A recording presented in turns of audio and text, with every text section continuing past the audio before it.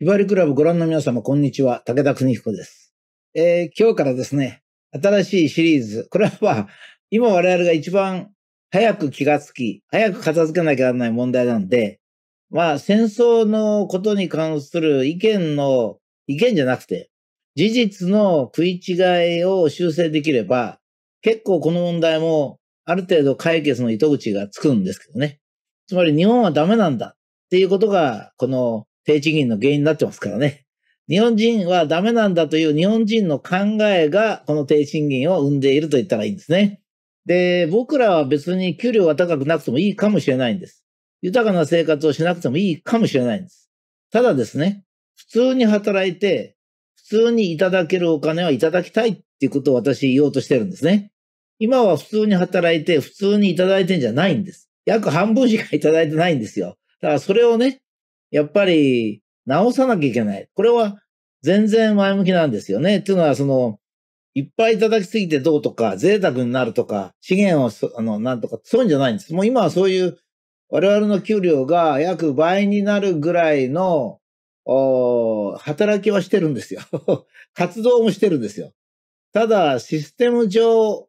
賃金が僕らに来ないっていうだけのことなんですね。ですから、これはね、やっぱり直しておかないと、社会が正常にならないし、それから、それにはものすごい多くの錯覚が実はあるんですよ。錯覚があるのに低賃金になっちゃうんですね。あの、働き方が悪いとか、例えばサボるとかね、日本人がサボりであるとか、効率の悪い仕事をしてるとか、そういう、なんちゅうか、盗難ばっかあるとか、そういうことで低賃金になってるんじゃなくて、非常にまともに働き、非常に優秀で、ちゃんとやってるのに低賃金っていうことですから、これは考え方を直せばすぐ直るんですよ。ですから、これはもちろん原因は誠実じゃないからですよ。だけどその誠実さっていうのが、今の世の中で誠実だと思うことが実は不誠実であるというところを直さんといかんっていうことですね。一応、まず、まあ、科学的に考えて、まず事実を見てみようってことで、まあ、事実いろんなグラフがあるんですけども、それからグラフによってですね、例えば形式的な賃金とか実質的な賃金とかいろんな経済的な指標があるんですね。それはまあ大体普通はですね、聞いてるうちに疲れちゃってですね、何言ってるのかよくわかんなくなるってことなんで、まあここではですね、OEC 加盟国の平均賃金の推移っていうですね、OECD がまとめた、まあ我々と本質的なグラフを一つだけ示します。えー、これ以上深く入りたい人はですね、よくあの私が説明しますとね、武田は経済みんな分かってないって、いや、経済の今の経済学が悪いからむしろ賃金が低いんですよ。な、何が悪いかっていろいろ原因があるんですけど、その一つはね、えっ、ー、と、経済じゃない人を素人扱いするってことですよ。経済ってのは何のためにあるかって国民の豊かのためになるわけですから、経済学者が威張っててね、お前知らねえだろ、お前知らねえだろって言ってたらいつまでもダメなんですよ。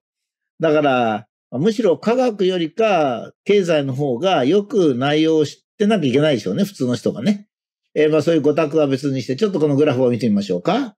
えっ、ー、と、これはですね、1990年から取られてるんで、ちょうどいいんですね。バブルが崩壊した時ですね。日本がぐっと低賃金になっちゃった。賃金が伸びなくなっちゃった。えー、それから2020年ですから、この30年間ですからね。この30年間をきれいにグラフにしてくれてるんですごくいいんですね。日本は真ん中にある赤い線です。極めて特殊ですね。真っ平ら。最近ちょっと上がってるように見えますけど、これコロナでガクッと減りましたからね。同じ、ちょっとコロナまで振れば同じになっちゃうんですけどね。えー、っと、だいたい3600から